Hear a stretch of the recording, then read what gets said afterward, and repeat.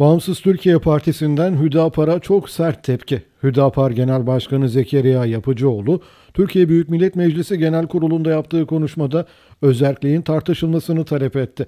Konuya ilişkin Bağımsız Türkiye Partisi'nden de çok sert bir açıklama geldi.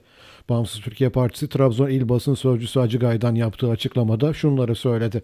Hüdapar Genel Başkanı Yapıcıoğlu'nun Türkiye Büyük Millet Meclisi Genel Kurulu'ndaki bütçe görüşmelerinde yaptığı konuşma baştan aşağı saçma sapan olup aynı zamanda bir milli güvenlik sorunudur. Bu konuşmada bizzat Türk devlet yapısı ve anayasası hedef alınmıştır.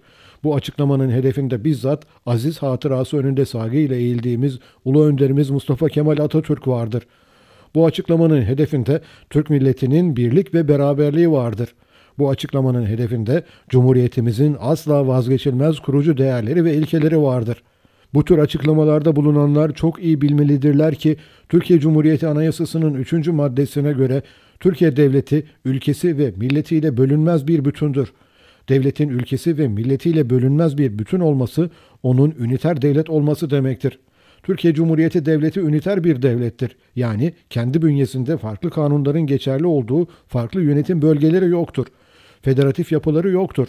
Türkiye Büyük Millet Meclisi'nin yetkisi tüm Türkiye topraklarını kapsar ve her Türk vatandaşı olan herkes bu topraklar üzerinde eşit muamele görür.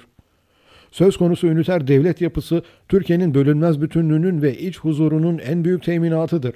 Sonuç olarak diyoruz ki Türkiye Cumhuriyeti Devleti'nin bölünmez bütünlüğünü hedef alan bu tür açıklamaları yapan bir parti lideri hakkında derhal soruşturma başlatılmalıdır.